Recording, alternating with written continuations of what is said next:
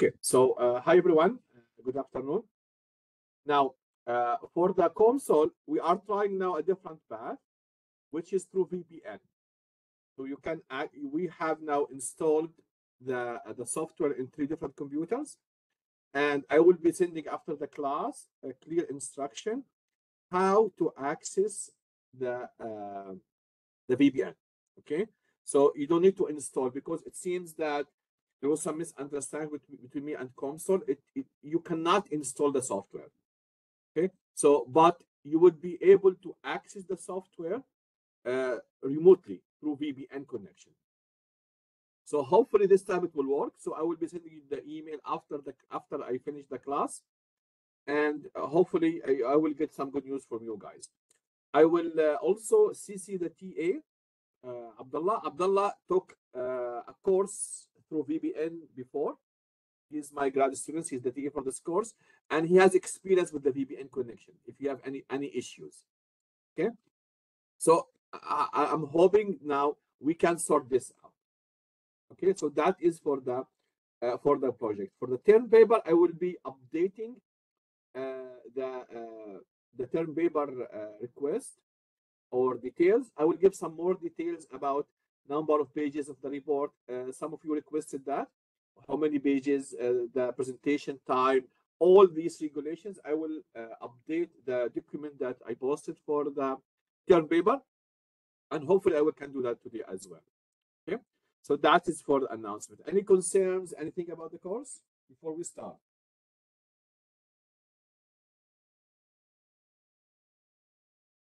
Okay, good. So let me share my screen now.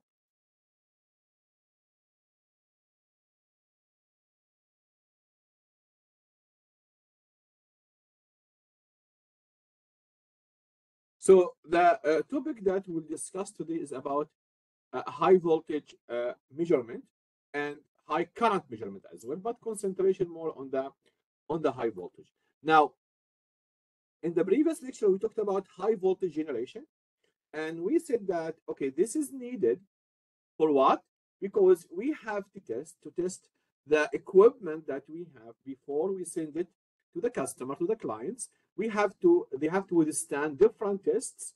One of them is the is the high voltage test. We have to test the integrity of the insulation. And depending on several factors, we have AC, we have DC, and we have impulse. And in the previous lecture, we talked about the generators, how they are designed, a little bit of uh, their characteristics, their limitations, and so on and so forth. Today, we'll talk about the second part of the testing pay, which is the measurement. How we can measure these high voltages. Because this is not like a simple uh, voltage. You can just bring a voltmeter and you go and bring the probe and you go and do the measurement. The, the voltages here are in kilovolts, sometimes in hundreds of kilovolts. So that is not possible. And also we'll talk about a little bit of the measurement of the of the current. Now, we have for the voltages, we have AC, we have DC, we have impulse. And each one has its own uh, limitations, has own problems uh, when, we, when it comes to the, to the measurement. Also, we want to uh, measure uh, currents, high current. Some tests, we have very high currents. So also, we need to measure those, uh, those currents. Now, this measurements for the either for the voltage or for the current, uh, we have it uh, in uh, different aspects.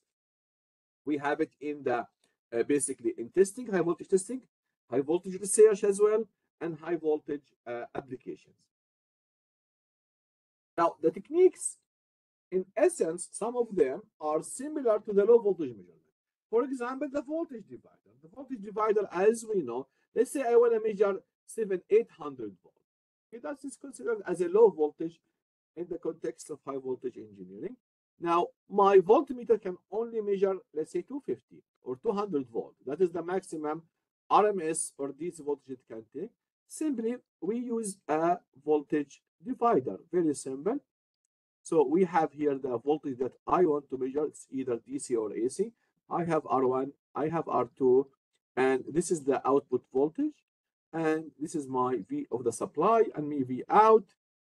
is nothing but the supply times R1 over R1 plus R2.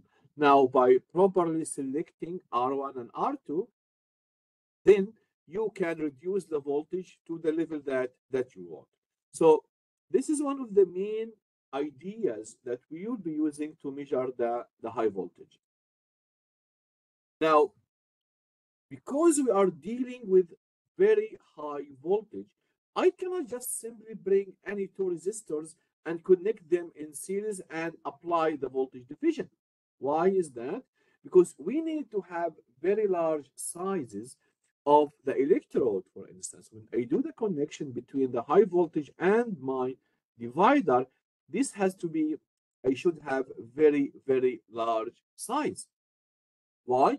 Because if I use sharp points, if I use uh, electrodes with a small radius of curvature, at the tip of those electrodes, you will have corona. And also you might have a flashover as well. So it's very, very important to increase the size of the voltage divider. Yes, in essence, it's a voltage division, but in practice, there are more than that, and that's will lead to some challenges. One of the challenges is the stray capacitance. What is a stray capacitance? What is a capacitance? Whenever you have uh, two conducting paths with different potentials, between them there is a dielectric material that is a stray capacitance. Now, when you have very, very high voltage at certain places, and in other places you have a ground, you have air in between, then this is considered as a stray capacitance. The stray capacitance has certain issues that we'll talk about them, especially when you measure certain type of, of signals.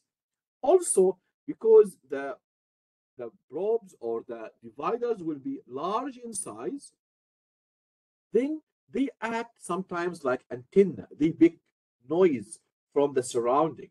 So that is also something that we have to work on and we see how we can uh, minimize minimize this. So we'll start with the most fundamental technique to measure high voltages, okay, uh, using spark gaps. There are different types of the spark gaps. But the whole idea here, we have two electrodes at two different potentials, and we know in advance that the voltage will break in air at a specific voltage. So once the voltage breaks, then I know how much voltage has been has been applied. So basically here, this is just a disruptive discharge. So you have two electrodes one electrode here, one electrode there. One is grounded, one you apply high voltage to it.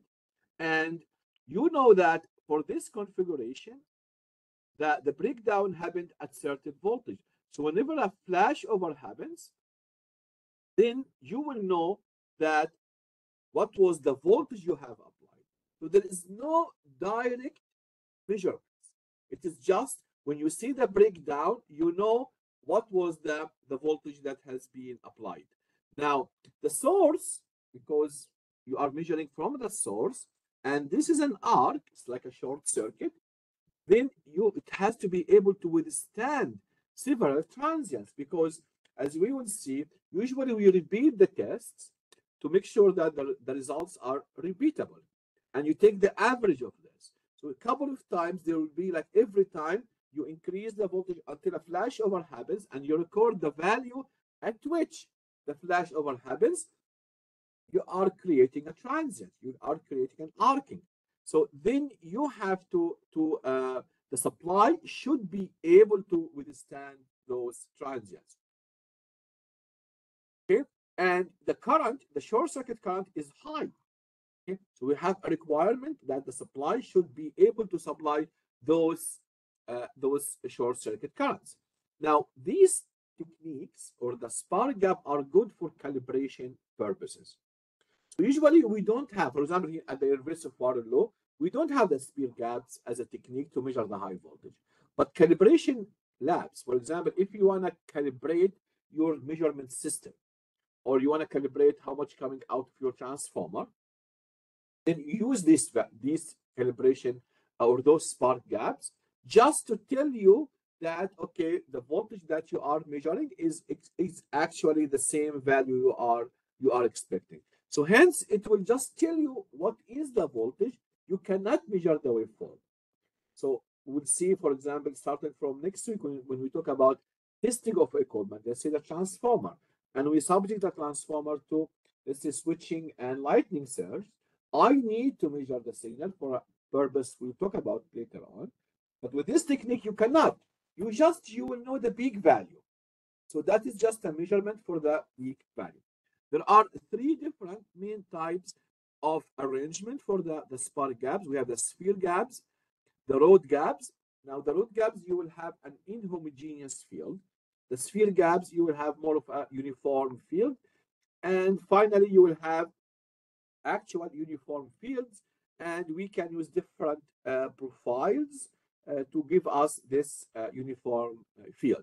We'll see the pros and cons of each one, but the most common one is the sphere gaps.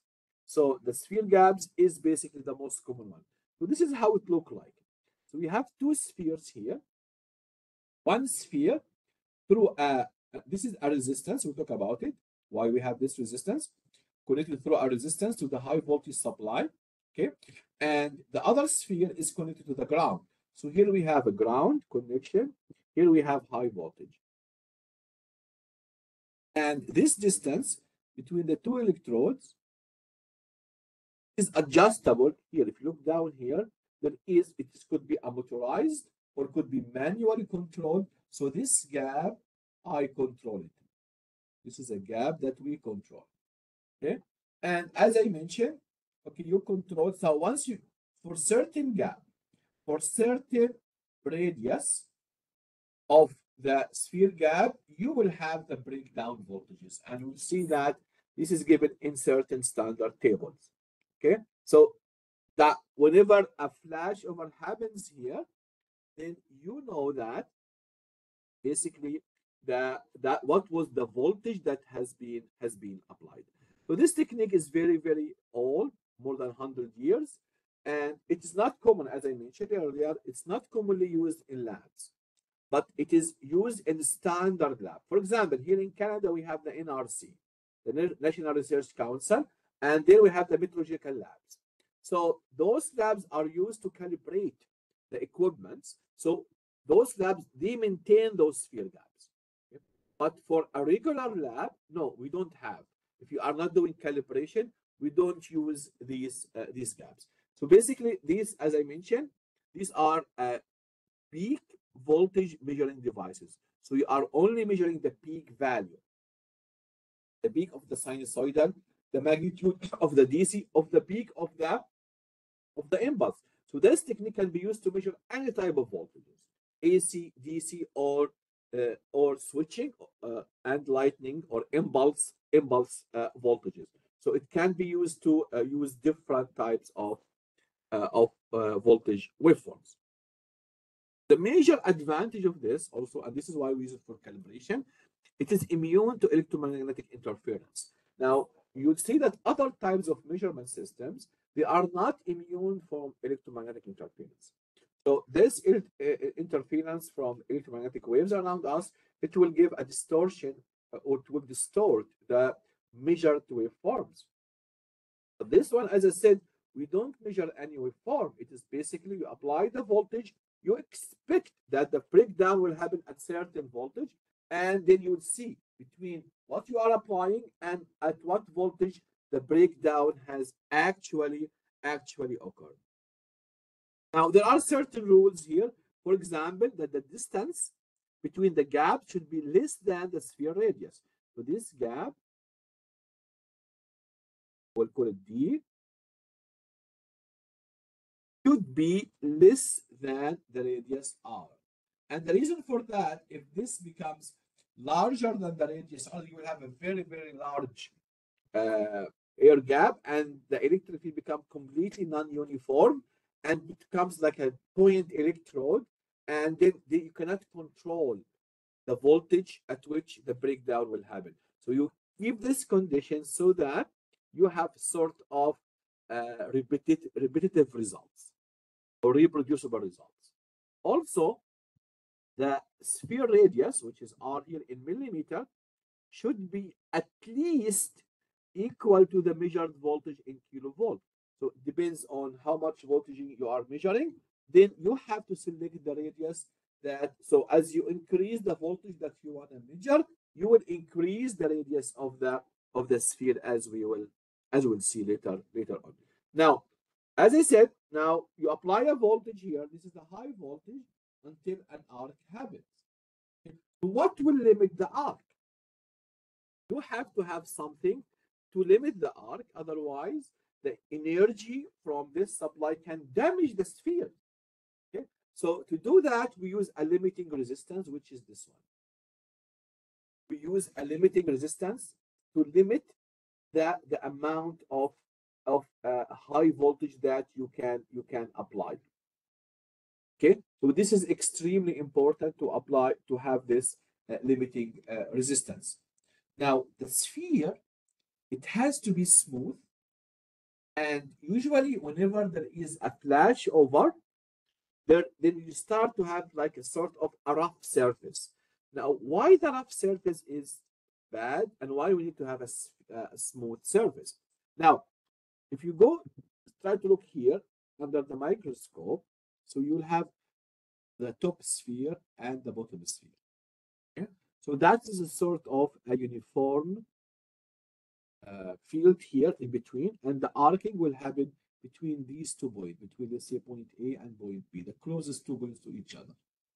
Now, once you start to have a surface that is not smooth, a surface like this, for example, because now you have too many arcing happens, you start to damage the surface. Then when you energize the system, then those will start to initiate random flashovers because those is those will initiate corona because of the sharp point and the sharp point could be also at the high voltage side not just necessarily on the ground so those sharp points now will start to trigger the flashover at a value which is not really what you predict. It's not predictable value. And you don't want that. You want to have the surface to be very very smooth so that you can control and the voltage that you are getting basically is is a controlled voltage and it's not something that is random. It happens at different points. So to, to avoid any issues so polishing is usually done. When you polish the surface to remove any sort of irregularities any sharp edges any sharp points on the surface of the of the sphere. Okay now if you have a long gap because you want to measure now higher voltage or you want to do an impulse measurement, then we need to have a source to provide electrons to reduce the st statistical time lag. Now we need to understand what do we mean by this. Now, when you apply a long rod, okay, when you have the distance between the long is large, or you apply an impulse. Now, when you apply an impulse, the voltage stays for a short period of time. The time that the voltage is applied is short. We said that, for example, if you are measuring lightning impulse, so this is the rise time is 1.2 to 50 microseconds. It's a very short period of time. Now, the flashover that happens between the two spheres in air, it is a statistical process. And whenever you have a sort of uh, uniform electric field, you have what we call Townsend, Townsend mechanism. Now, these things are not discussed in this course. There is another course called dielectric course. You discuss the mechanism of flashover in details there. But in, in principle, you need to have an electron in the gap, and that electron will start to get energized and getting high energy because of the high electric field so it will start moving down, and as it move, it start to hit different atoms and start to uh, release more and more electrons. So we'll have each one will release an electrons. We have an exponential increase until we have a flashover. But you have to have an electron. Okay. Now, when you apply short pulses, you might have the pulses go and come back and, and finish and this electron doesn't exist. It's not there. It's not there. So you need to create that electrons. And this is why you have to have a source inside the sphere to provide those electrons. Now, when you provide this electron, you are sort of assurance that you will have an electron to start the avalanche and the break breakdown. But we need that whenever we want to measure impulses or we want to uh, measure uh, voltages at long distances. Now, for AC and DC, what we how we measure the voltage, we increase the voltage gradually, okay, until flashover happens. Then we do three measurements and we do, if the measurements are within the 3%, they should be within the 3%. There should be no large scatter because if you have large scatter, it means you have something wrong, either in the gap arrangement or in the surface or in uh, the environment around you. And we'll talk about some of them as, as we progress. So this is very important to make sure that the results, the scatter in the results is not uh, high more than 3%. So once you are done with three results, you take the average and this will be the, the reported value. Now for the impulse, we use a normal distribution. Uh, we assume a normal distribution and we use the 50% breakdown probability. And I will talk about that next class in details. What we mean by the 50% breakdown probability? We will use that when we talk about testing of insulators. Uh, I will mention that in details. Now, when the breakdown happens, it's a function not just in the space between the electrodes, not just the, uh, the type of electrode, the sphere radius. Of course, these are all important. And these factors, you have them in a table. However, there are certain other factors can influence your flashover, like humidity, like pressure, like temperature. All these factors can uh, impact your voltage level at which the breakdown happens. So it's very important to apply certain correction. Otherwise, you will do a test today at certain temperature, certain humidity, certain pressure, and then you do this after a week or after a couple of days, you get totally different results. Although everything is, is the same from the physical structure. Your electrode doesn't change, your voltage doesn't change, so the gap doesn't change. Why is that? Because you are not controlling these factors. So these factors are somehow hard to control. Then you have to apply a correction factor.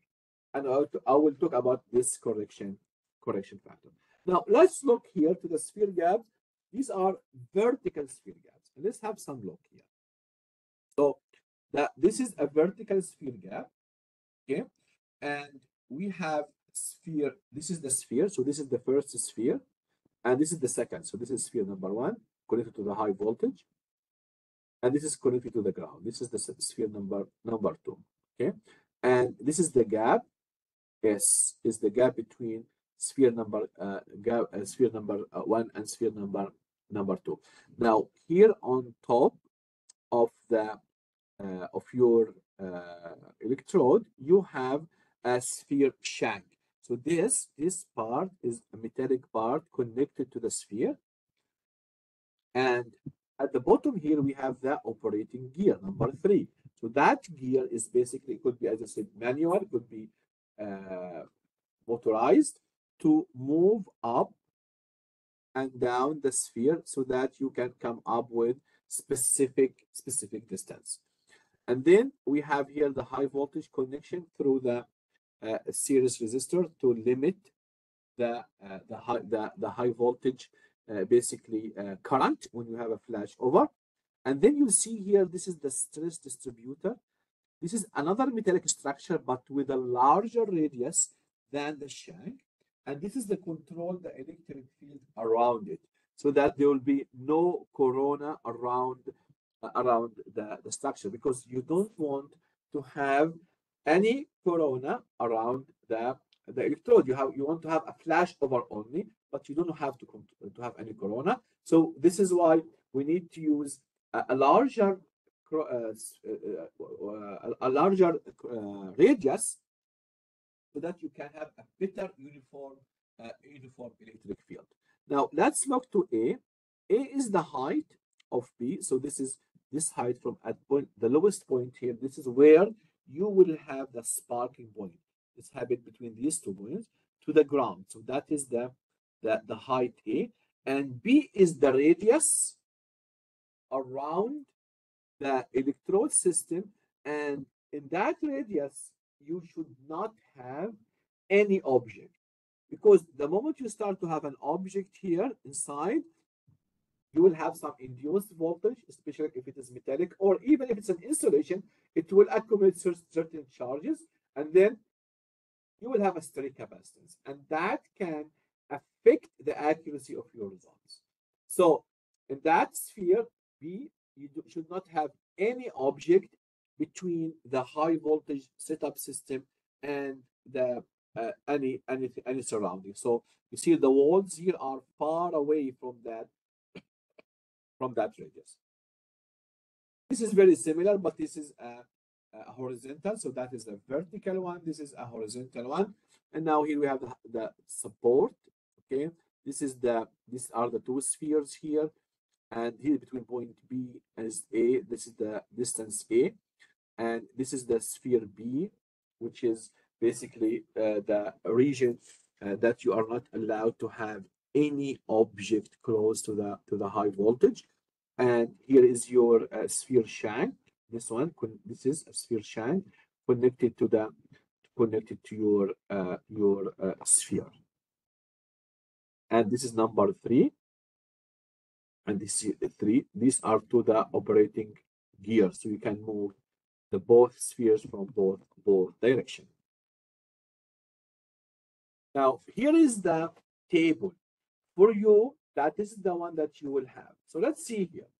So here this is the sphere gap spacing. So the sphere gaps this gap is in this table. In, in, in here 5 10 15 until 250 so let's let's look let, let's look to to this part of the table to the left part. I will come to the right part. Then we have sphere diameters in centimeter 6.25 12.5 25 centimeter so that is the radius of your sphere. Now here is the breakdown voltage. This is the peak voltage rms or dc at which you will have uh, your breakdown happen okay so if you have let's say uh, a sphere radius of 12.5 and the sphere gap is 25 millimeter, then you will have a breakdown voltage at 72.5. So the voltage that you are measuring there, basically it, ha it happens around 72.5. So if you want to calibrate your, your system, you will see how far the dial that you have in your instrument or in your system than the actual the actual value. This is how you can uh, you can calibrate. Now this table is also it's the same like this table, the right one, but now here we have larger sphere diameters to measure larger and larger voltages. You can measure here thousands, hundreds of kilovolt and thousands of kilo kilovolt as well. Now, as I mentioned here, there is a correction factor for the air density air density change with pressure, with temperature. So this is the voltage to be measured. This is the voltage that you are you will you will measure. This is what you are supposed to to measure. Uh, okay, Riza, you have a question? Yeah, uh, yes, please. If you go back to the, the previous slide, what are those numbers in the brackets? What's that? The the numbers uh, inside the brackets. Oh, those numbers? Yeah. As far as I know, that you are not recommended to do this. You can do the measurements, but it's better to use a higher uh, sphere uh, uh, diameter. For example, here, uh, it, at this one, you will get these values, but it is better to do it at these values. That is as far as I remember, but I can check this one. Okay, thanks. Okay. As you can see here, as you increase, now you are fixing the sphere gap. Okay. The sphere gap has been fixed 35. If you go this way, as you increase the radius of your sphere, you are having higher and higher voltages because as you increase the sphere diameter, you are getting more and more uniform field. Uniform field, the breakdown happened at a higher voltage level compared to the non-uniform field. So that's sort of not recommended. That is as far as I remember, but I, will, I can I can check that. Uh, this is not very highly recommended, so it's better to go for the bigger sphere gaps. And we said that there is a correlation or a rule of thumb between how much the breakdown voltage and what is the sphere radius should be. So there is a so, sort of uh, rule of thumb there. Thank you. Okay. So here, this is the voltage that you want to measure. And this is the voltage that you have from this table. So the voltage from the table and the voltage you are measuring, there is some discrepancy between them. Why? Because those voltages are taken at certain specific conditions. And I will come to these conditions.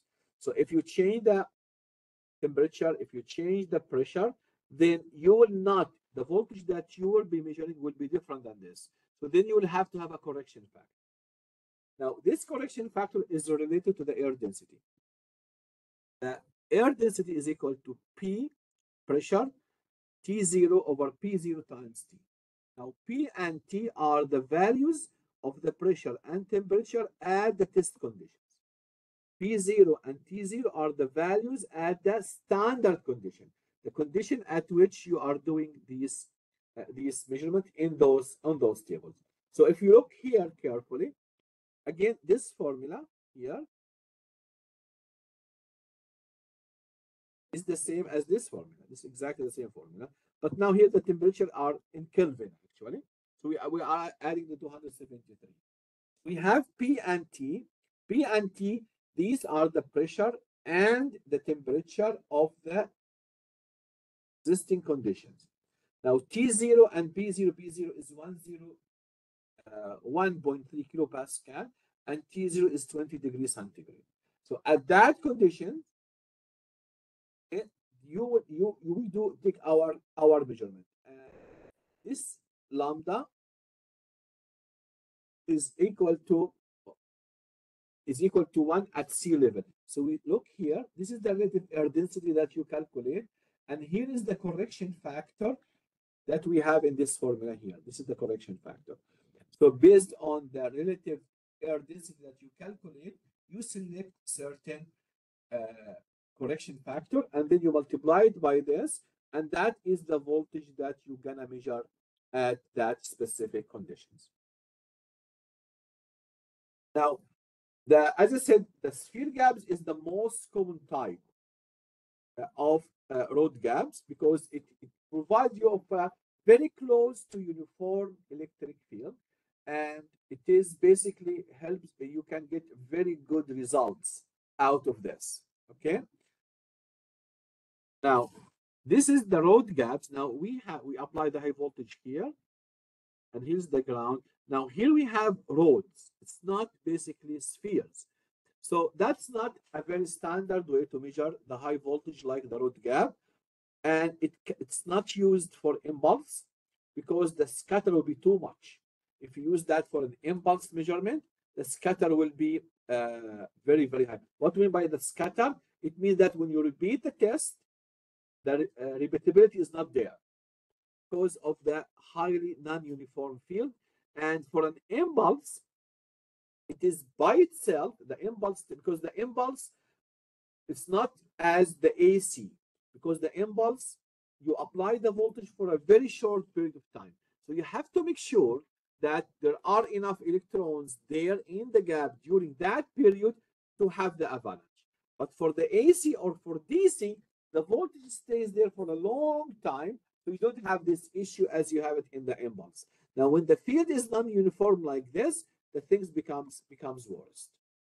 Now, for AC and DC, the V out is equal to 2 plus 0.534D. This is an empirical formula used to estimate the, the voltage at which a breakdown will happen. So it's equal to 2 plus 0.534 times D. D basically is between 250 millimeter to 2500 millimeter. D is this distance. That is your, your D. And again, as I said, that is only used for AC and for, for DC uh, voltages. Now, uniform electric field. Now, we have different type of profile like Rogowski, Bruce. Now, here we have something like this. Completely uniform electric field. The electric field in that region is, is constant here, or in X and in the Y uh, direction. And this one has the advantages that you will have very precise value. Okay? However, to adjust a line is not easy because at the end here, the field is not that uniform. So you want to make sure that don't have any enhancement in the field on the sides so that you will have the breakdown happening at, at the side. This is why the sphere is, is much, much better. Also, the geometry is very hard to machine. To have a very nice profile parallel electrode is not easy to do. So this is why this is not really used much. Another way of measuring the voltage, okay, we use what we call the electrostatic voltmeter. Now, just if you, uh, this is a back background, if I have two parallel plates with a distance between the two plates equal to x and cross-sectional area is A, and here is air gap. So this is epsilon zero, epsilon r is equal to one. So the capacitance is equal to epsilon zero times the cross-section area divided by the distance x. The energy that's stored in the capacitor is equal to one half CV squared. This is the energy that is stored in any capacitor, which is now I will take the C out and I substitute its, its value here just one half epsilon A over x V squared. Now, the force is related because with the energy stored, which is basically the change rate of change of the energy with respect to the distance, that is the energy. Okay. So if you take the derivative here, you will get this is the, the force. So here the force and the voltage are related to each other. Now this is for DC. If you apply uh, an AC, then you take the average of that, the mean value, which will take the 1 over t over the period f of t. Then this is also is equal to the to the same value, but here is DC, here is RMS RMS value. So here I relate the voltage with the with the force. So if I can calculate the force, I can calculate the, the voltage. This is as simple as that. Now let's back to the arrangement here. We have the high voltage electrode. So you apply the high voltage here. Here is the ground, and this is here attracted disk. So when you apply a high voltage, there is a force that is there, and this force will attract the disk to move toward it. So this disk will be moving because there is a force that happening there. Okay. Now, as the disk is moving up, the capacitance will be changing because X here will be actually changing. So the amount of energy that you are storing there is basically changing. And here there is a relationship between, as I've shown to you, between the force that we apply and the voltage, either DC or RMS value in that specific specific uh, system. Now, the measured voltage can be up to megahertz, but we cannot increase the frequency more than that because the moment we start to increase the frequency, you will start to have the stray capacitance between the different parts here, and this will impact your, your results. So for a few megahertz, that's okay, but then after that, you cannot use the uh, this system to measure that that voltages. So it's ideal for DC and for AC uh, systems. Another way to measure the voltage here is indirectly by measuring the current. So we have a limiting resistance in the path of the high voltage, and we have an ammeter. Okay, so when you have this is your high voltage here. So this is a limiting resistance. It's a high voltage resistance. I will come to it. So you will have a current here, I, and the current you are measuring it. So this R is known to you, and you are measuring the current. So knowing the current and the resistance, then the voltage here is basically I times R. So that is indirect way. So by measuring the current, basically you can find the the high uh, the high voltage. Now this uh, resistance is made of a series. This is now R. This is R. So basically, they are small resistors.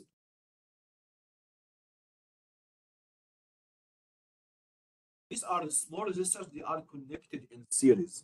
So the total resistance here is the summation, is the summation of all these R primes.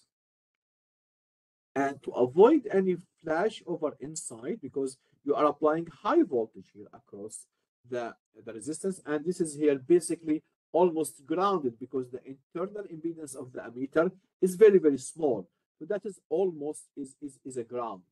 Okay. So you are applying the whole high voltage across your resistance.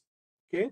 So if you have that high voltage, you might have some arcing inside the resistance. So we fill it with transformer oil to avoid any sort of uh, of arcing inside.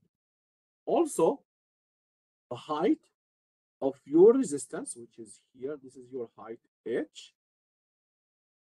It is should be 0.25 centimeter for every kilovolt to avoid any flashover from the top to the bottom. So to avoid any flashover, you have to make sure that the, the, the resistance basically uh, it is uh, uh, 0.25 centimeter every kilometer. Now you look here at the top where you apply the high voltage, there is a metal cap here.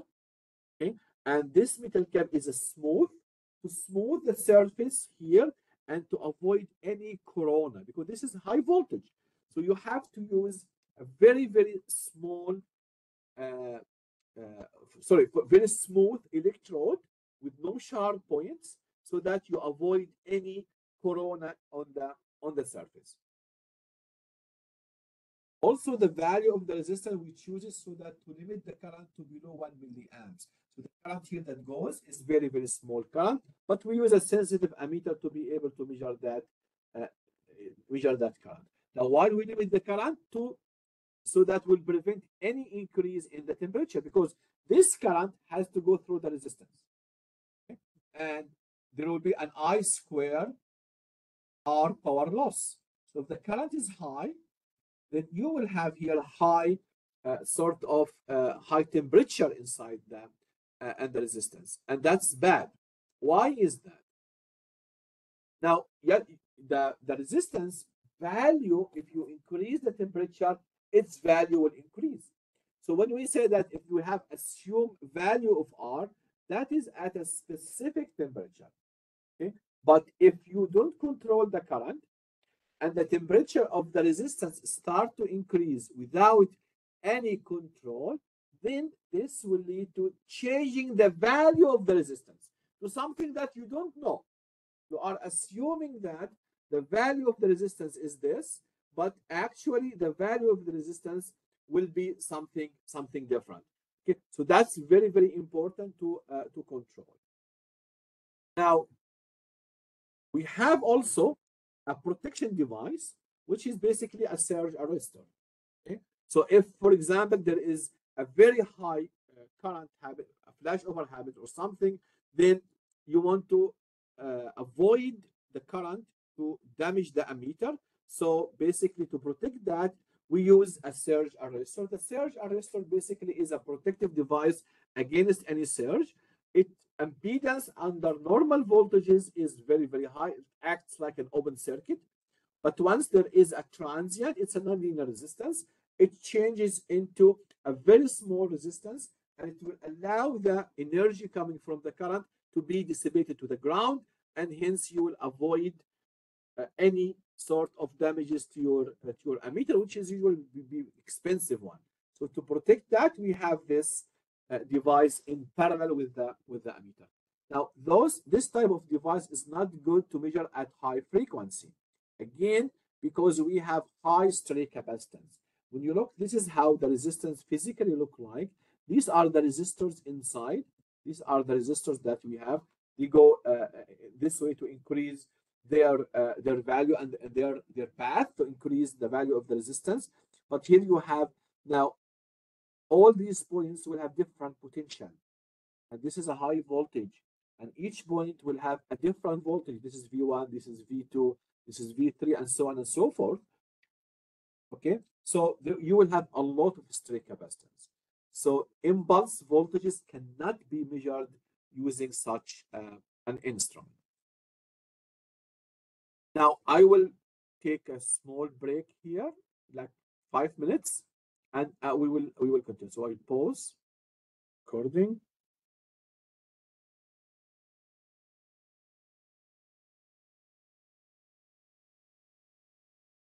Okay. Now, the most common way to measure high voltage is using voltage dividers. That is the most common way in high voltage labs is to use the voltage dividers. Yes, the other techniques I mentioned is used here and there, mainly for calibration purposes, but the most important one is to use voltage dividers. And voltage divider, as I mentioned earlier, in principle, it's the same as the low voltage dividers that we use in circuit courses. It's exactly the same principle. So basically here we have two arms, a high impedance arm and a low impedance arm. And they are connected in series, okay? And of course, to, uh, to have this in series, the current here that goes to the instrumentation has to be almost equal to uh, equal to zero. And this is why we when we connect our oscilloscope, we have to connect the oscilloscope at a very high input impedance, the mega ohm impedance. Okay. Usually there are two modes when you uh, connect your oscilloscope. That you select, especially for the sophisticated one, you select either uh, the uh, characteristic impedance of the cables to be your input impedance of your uh, of your oscilloscope or the mega ohm values. So if you do a high voltage measurement, you have to use the mega ohm measurement. If you are using the oscilloscope to measure, for example, uh, through an antenna, then you you want to have a sort of a match, uh, a, a, matching between the impedance, the characteristic impedance of the oscilloscope and your antenna to avoid reflections. So use the 50 ohm. Okay, so these are the two setups. So for, for high voltage, we select the input impedance of the of our scope, oscilloscope to be a very very high value, so that the currents that go into becomes extremely small, almost zero, and then these two resistors will be in series. So the current I here is almost equal to the current there. Okay, and then you can apply voltage voltage division principle. Otherwise, if you use the our oscilloscope at the 50 ohm impedance, then you will have a huge voltage drop across your oscilloscope. Okay, so this is just a, a sort of a, a side a side note.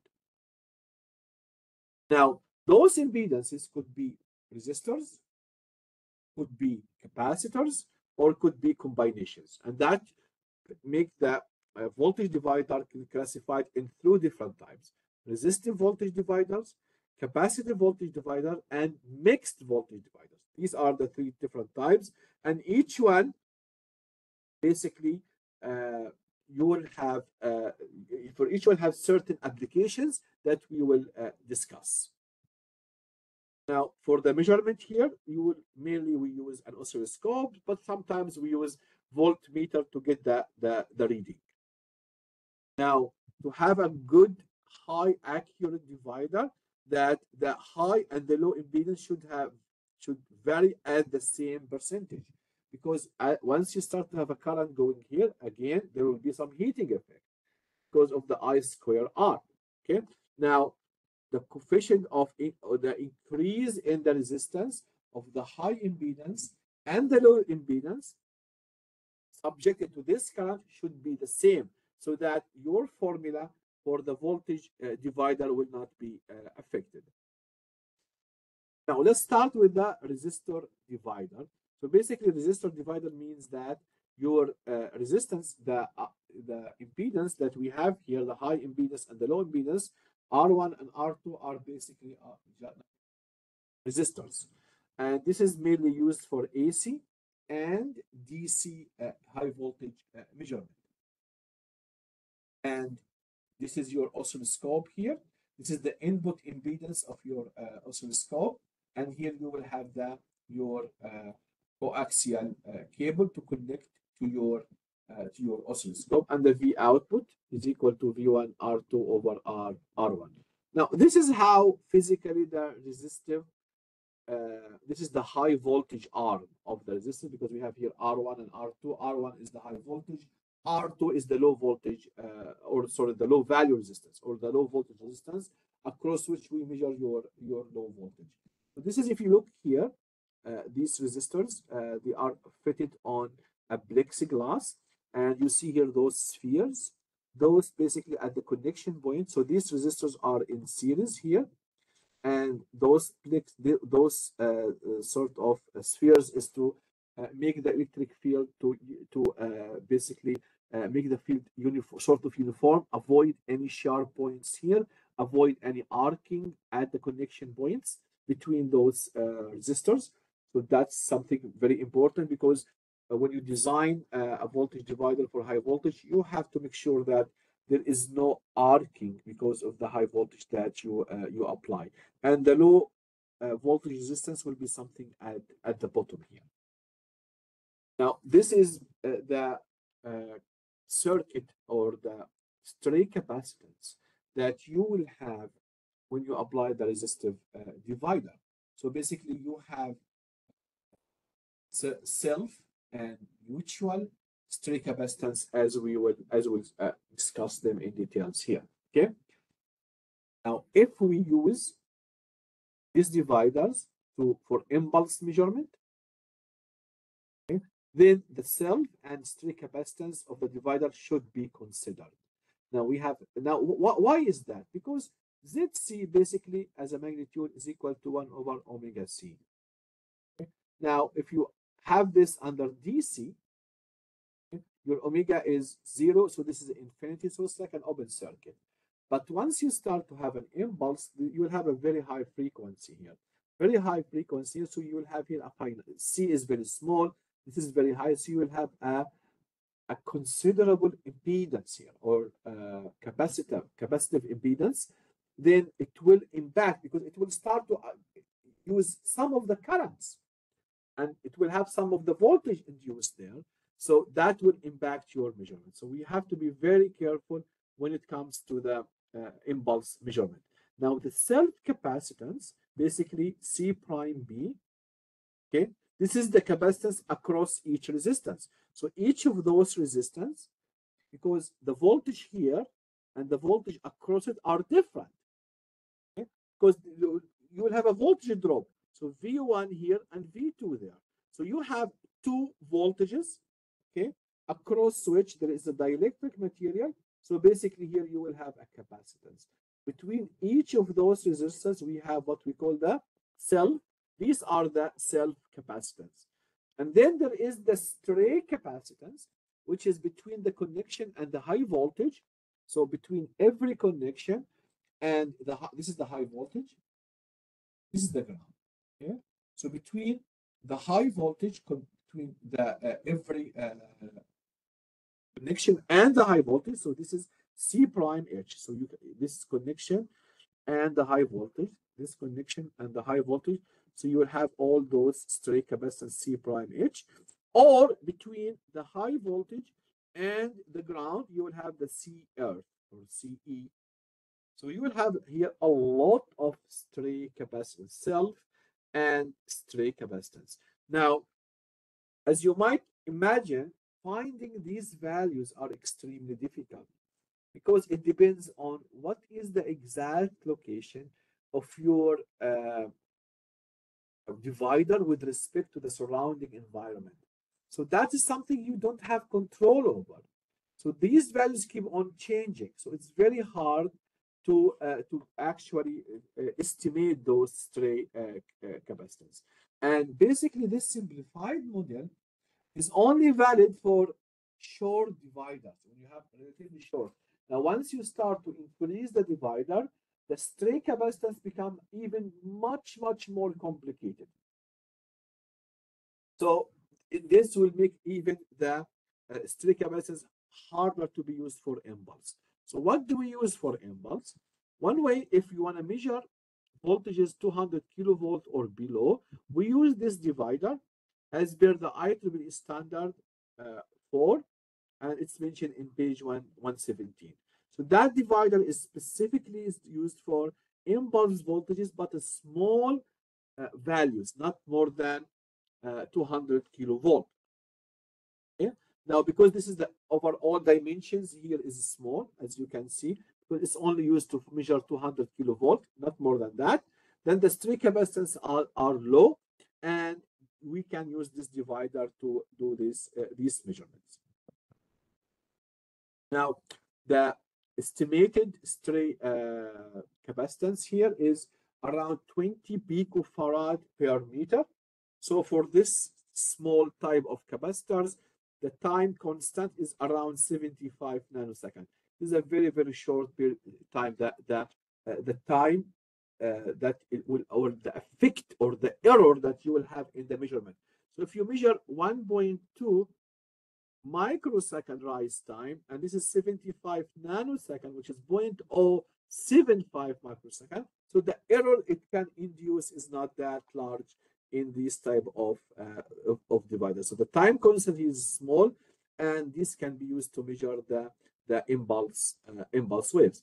Question is, what if I want to measure higher voltages, or if I want to measure uh, higher impulse voltages, or even high AC?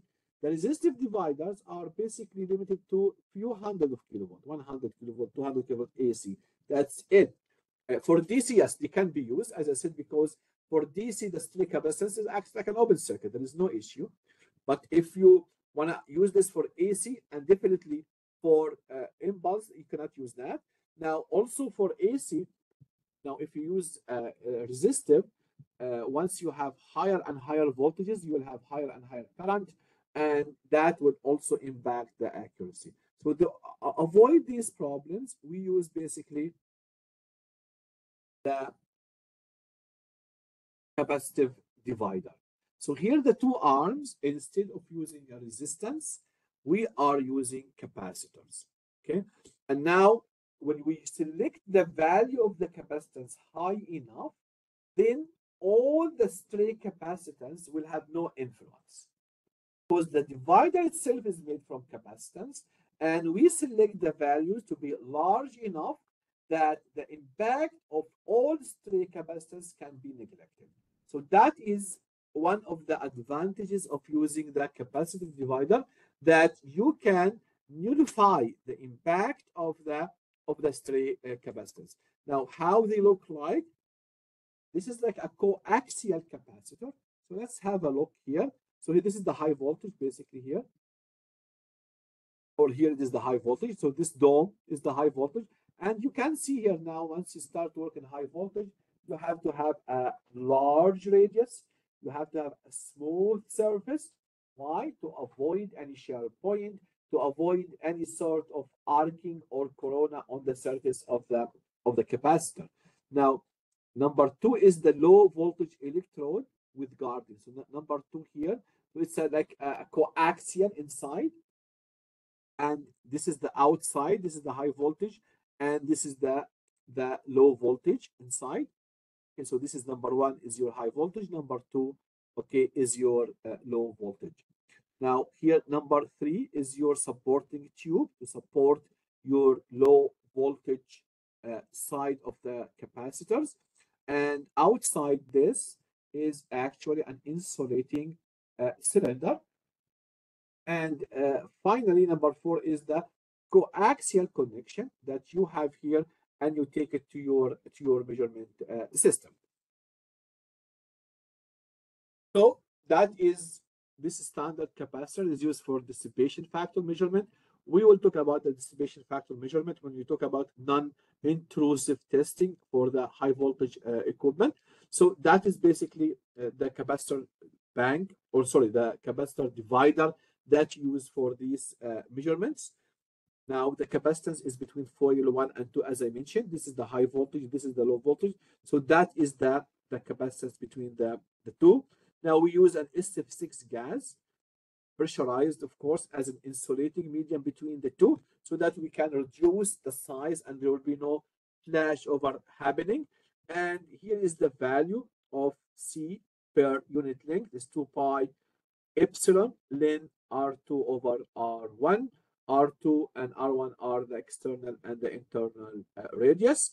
And R2 over R1 is basically we use it as equal to E and this will give you 56 picofarad per, per column, per meter, sorry. Now, the final one is the mixed RC divider. Here we, we mix between the R and the C. So we have the C resistance and capacitance for both the low, the high and the low voltage arm. So we use a mix between the two.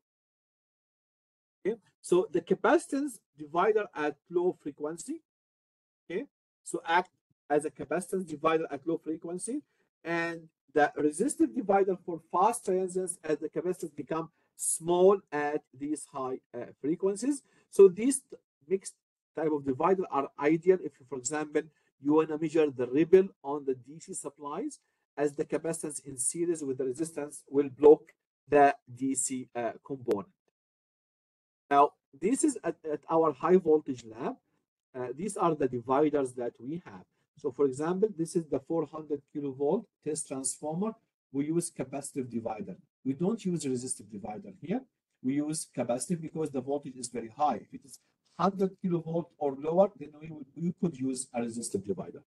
For the DC supply here, we use a resistive divider. This is a resistive divider used at our 300, this is a 300 kilovolt DC supply. This is 400 kilovolt uh, test transformer. Now for the impulse, because this we have very high frequencies. So here we are using a mixed type of the divider so that it can help us to uh, extract the transients that happened on the uh, on the on the impulse. Finally, we'll talk about the current measurement. Now, in many times we need to measure high currents. Okay, so how to measure those currents? There are different ways. One way to measure the current, basically, in any circuit. Of course, we don't use uh, here uh, meters to measure those high currents because you need to have very, very, very expensive that can handle kilo amps. I'm not sure if some, some such thing is uh, really exists. So one way to measure the high current is to have a shunt resistance in the in the path of the current, and you measure the voltage across the resistance. So this could be your device. Your you have here the current I. So the I will produce a voltage drop here, and you measure that voltage knowing the value of the resistance. Then you can find the the current. Now it depends on the value of the current. You select different sizes of the resistance to dissipate the high temperature coming out of those uh, of those high high currents. Also, we use Rogowski coil to measure high transient currents. Okay, so those coils, so basically it's a current transformer, but the core is made from air. And because we have air, there is no saturation. What do we mean by that? What do we mean by saturation? Uh, let me just uh, go a bit away from here. Let me explain this to you. What do we mean by saturation? and why this is different than regular transformer and what we mean by saturation here. So basically in transformers, regular transformers, that we have the core here. The core is made from silicon steel. Okay, so we have here the primary. This is V primary, and here your V secondary. Now we use here magnetic material. One of the most common material we use for transformer is silicon steel. Now, what is a magnetic material? What makes a magnetic material a magnetic material? If you look under the microscope of those magnetic material, they are made from dipoles. So, for example, here you will have dipoles, okay, north, south, north, south. And if you don't apply an external current or voltage across them, these are random. Okay, so the net magnetic field around them is zero. Now, if you have a magnet, those dipoles are aligned, so you have a net magnetic field around them. But magnetic material, they have these dipoles, but they are random. Now, once you apply a voltage, you will start to align those dipoles. And here we have what we call the BH curve. Okay, so this is your H, and this is your B, flux density. The flux divided by the cross-section area. And the flux density goes like this until it saturates here. Now, H basically is N times I divided by L. Now, the most important thing is the current. So as you increase the current, you are increasing the flux. Why? Because you you you apply more current, you have more alignment of those dipoles. You increase the current, you have more alignment, you have more flux. Because once you align them more, you have more net flux until you reach to the saturation level. Then any further increase in the current, you don't have any increase in the flux. Why? Because you already aligned most of those dipoles. So that's what we call saturation. And saturation happens only in magnetic material. But air doesn't have those dipoles, so air cannot saturate. Now, what does this, how this will impact the frequency? Now, in transformers, basically we use it for 60 hertz. Now, this is another thing. This is the current magnitude, saturation, but also the frequency can cause saturation. So if you have very, very fast currents, then you will not be able to align the dipoles. Okay? Because the dipoles can only interact with certain frequency. Otherwise, you will not be able to, to do that. So this is why the transformers that we use, usually they are good up to 300 hertz. If you try to induce voltages higher than 300 hertz, you cannot because the dipoles cannot react to those high, high, high, high pulses or high frequencies. Then we have to use different core material. Okay? And there are different core material when, whenever you want to measure high frequency currents. And one of them is to use an air, an air coil. So air does not saturate and it does respond to these high, uh, high frequencies. Okay, so let's go back here now. Okay, so we use the Rogowski coil as a current transformer. Okay, and because we use air, we have no uh, no saturation. So as we know that the output of the uh, this is the primary of the CT and this is the secondary current of it. Okay, so we use an integrator, any type of conditioning circuit, an amplifier, integrator, whatever we want to do to get our our uh, our signal back there. And your V out is MDI by dt. So when you take the integration of the signal here, okay, we with an amplifier, then you can get the, the current in the from your your signal. So those type of Rogowski coils can be used to measure basically the high uh, frequency uh, components. And usually we use them to measure the high current. Uh, for example, lightning currents.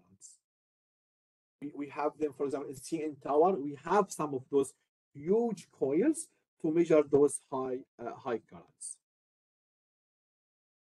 So this is uh, this is uh, some of those coils, okay, and this is at the ground part of the uh, of uh, tower. So measure if there's any fault, high fault currents can be can be actually measured through those uh, those coils. And as I said, we call it Rogowski coil. This is the name of the inventor of who came up with those with this coil.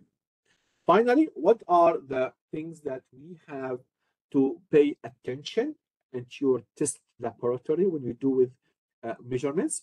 First of all, you need to keep your dividers away from the walls or any grounded equipment. And now we understand that why, because of the impact of the stray capacitance.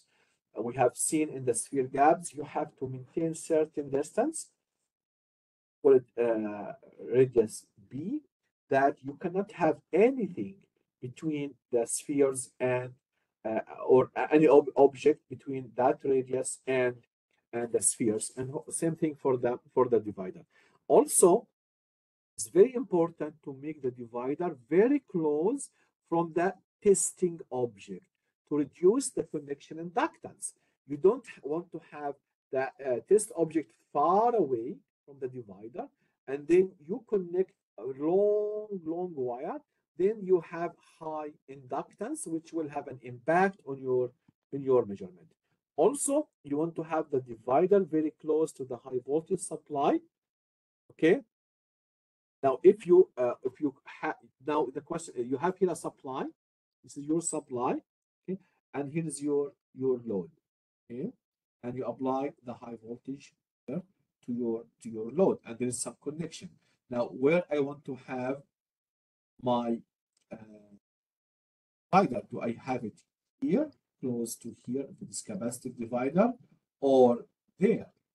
So if I have it there, I'm measuring the supply voltage rather than the voltage at the load itself, which what this is what I want actually. I want to know how much voltage is not coming from the supply, but how much voltage is coming at the test object. So we want to have the divider as close as possible so that we measure that the voltages at the, the, uh, the load. If you want to measure the voltage at the supply itself, then you have to have the divider close to the, to supply. Also, there is some EM radiations. Whenever there is uh, impulse or if there is uh, any fault happens, then there will be an electromagnetic radiation coming out of those faults. Now, those electromagnetic radiations can interact with your measuring devices and they can cause problems. And this is why electromagnetic compatibility is something very, very important in, in this context. Otherwise, you can damage completely your devices. Not that only in the lab, but on the vicinity of the lab. You could have computers in the other rooms okay? If there is no proper shielding then you could damage all these equipment. So it's very very important that when you do a flashover test when you have impulse test then you have to watch the em radiations from any electron. Now this is an old system where you have everything is shielded inside uh, that room okay so you keep this is like a cage to avoid anything now in our lab, you don't have to, to do this now uh, because the, now most of the equipment have this uh, EM or electromagnetic compatibility EMC compliance. Okay, so the device itself now is shielded. Okay, so you cannot use any normal oscilloscope for impulse measurement, for example. You have to have an oscilloscope that is uh, actually EMC compatible. Uh, also, the lab itself, all the walls, and we have that, in our lab is completely shielded. So if there's anything happens, it will not impact any office in uh, around around the high voltage uh, high voltage lab. So that's what I want to talk about uh, measurement. It's a uh, very quick view about the different techniques we use to measure mainly high voltages, either AC, DC, or impulse, and also some of the consideration we have to be attention when we measure the, uh, the current.